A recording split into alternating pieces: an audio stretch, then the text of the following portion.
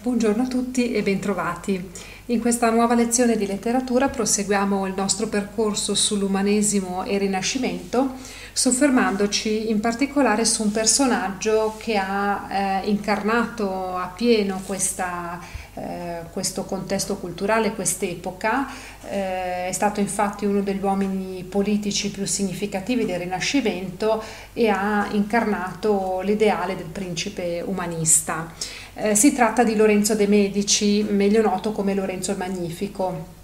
Lorenzo Magnifico nacque a Firenze nel 1449, eh, era figlio di Piero di Cosimo, signore della città, e mh, ebbe naturalmente un'educazione molto raffinata, ebbe come maestri maggiori intellettuali umanisti dell'epoca eh, che gli insegnarono, gli trasmisero l'amore per la cultura classica, ma al tempo stesso il gusto anche del, per la composizione di versi in, in lingua volgare. Eh, avevamo già spiegato come il, il volgare eh, fosse eh, arrivato a piena dignità di lingua letteraria nel 300 grazie alle tre corone della nostra letteratura, Dante, Petrarca e Boccaccio, e come invece l'umanesimo si fosse dedicato con maggiore interesse e passione alla riscoperta delle lingue classiche, quindi del latino e del greco. In Lorenzo il Magnifico troviamo entrambi questi aspetti. Eh, nel 1469 Lorenzo sposa Clarice Orsini, eh, appartenente appunto a, eh, a, una delle famiglie mh, più in vista dell'epoca, una potente famiglia romana, e dalla loro unione nacquero numerosi figli. Eh, uno di questi, fra l'altro, diventerà papa con il nome di Leone X. Eh, nel, nello stesso anno, sempre nel 1469, quindi quando Lorenzo ha 20 anni, il padre muore e eh, Lorenzo prende quindi la guida di Firenze, diventa quindi eh, signore della città eh, in età giovanile. Eh, sua, le sue abilità politiche sono di, di notevole caratura e eh, Lorenzo persegue una politica estera accorta e abile, volta proprio a consolidare il prestigio della sua città e ehm, a garantire degli equilibri strategici e politici fra i diversi stati regionali eh, che all'epoca interessavano la penisola italiana. Eh, quindi possiamo proprio dire che in quest'epoca eh, Lorenzo il Magnifico rappresenta l'ago della bilancia della, eh, della politica italiana.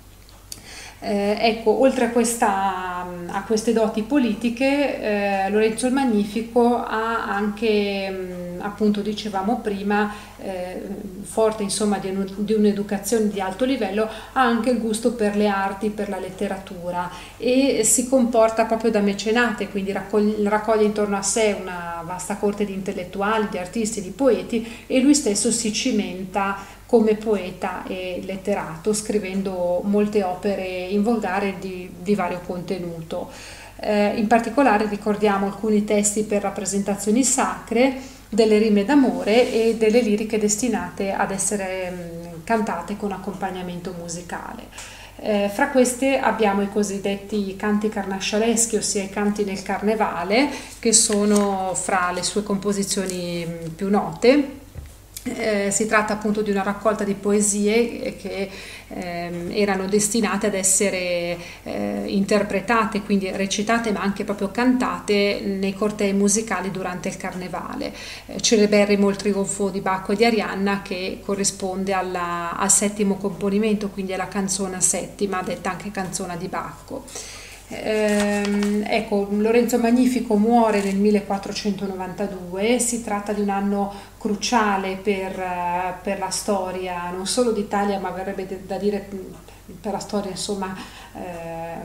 mondiale, viene preso come anno spartiacque, possiamo dire, fra eh, l'età medievale e quella moderna, è lo stesso anno in cui viene scoperta l'America da Cristoforo Colombo. Ecco, nel 1492, eh, dicevamo, Lorenzo il Magnifico muore e si rompe quindi eh, quell'equilibrio di cui era stato artefice. Da lì in poi la nostra penisola sarà preda delle incursioni straniere.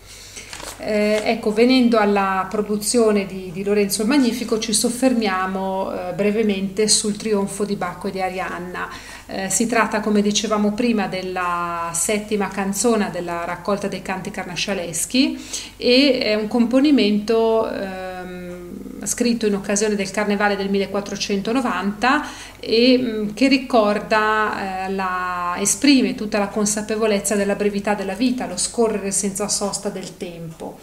Eh, celeberrimo il ritornello, quanto è bella giovinezza che si fugge tuttavia, chi vuole essere lieto sia, di domani non c'è certezza. Quindi questo richiamo alla bellezza dell'età giovanile e alla sua fugacità, quindi con un chiaro invito ad essere felici fin tanto che se ne ha l'occasione perché non c'è eh, certezza alcuna sul domani. Eh, ecco, nel corso della, della canzone ritornano vari motivi eh, che si ispirano alla civiltà classica greco-romana, in particolare i personaggi mitologici di Bacco e di Arianna che eh, rappresentano l'amore spensierato, quindi un amore che segue l'impulso naturale, non si cura di, di quella che può essere la, la morale, dei limiti imposti ad esempio dalle regole sociali o religiose. Questo sarà uno dei motivi per cui ehm, da parte di alcuni esponenti della Chiesa eh, saranno espresse anche delle censure nei confronti di questo tipo di, di cultura e, e, di visione dell'amore, perché c'è un, un esplicito richiamo proprio al paganesimo. Ecco, l'altro tema sicuramente caro al mondo classico è quello della fugacità della giovinezza, l'incertezza del domani, da cui deriva appunto un invito esplicito a godere del presente, eh, quindi in un'ottica diametralmente opposta ad esempio da quella che è la, la morale cristiana, che aveva dominato invece la letteratura eh, medievale o almeno gran parte della letteratura fino a tutto il Medioevo.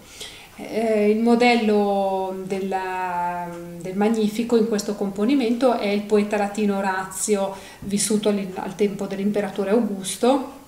Augusto sappiamo che eh, aveva la propria corte mecenate, quindi era stato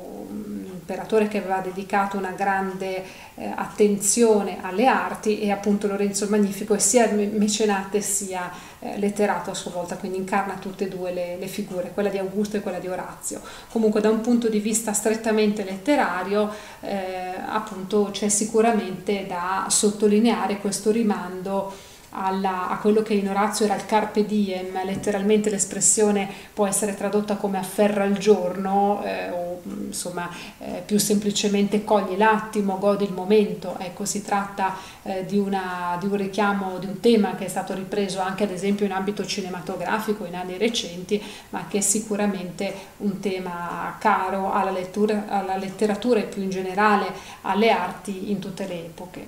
Eh, ecco, anche in Orazio l'invito alla gioia è velato dalla tristezza perché nasce mh, sempre dalla constatazione della brevità e dell'incertezza della, della vita umana.